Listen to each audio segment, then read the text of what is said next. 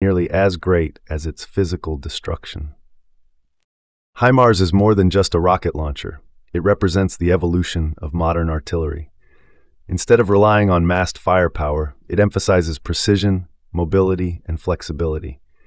In today's warfare, destroying a single command post or fuel depot can be far more decisive than bombarding a front line. HIMARS gives that ability to commanders, often at relatively low cost compared to sending aircraft or missiles. Its export success has also grown.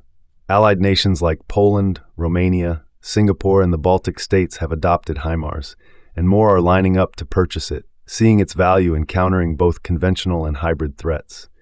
In Eastern Europe especially, HIMARS is seen as a critical deterrent against potential aggression. And with the precision strike missile entering service in the coming years, HIMARS will continue to expand its relevance, capable of hitting naval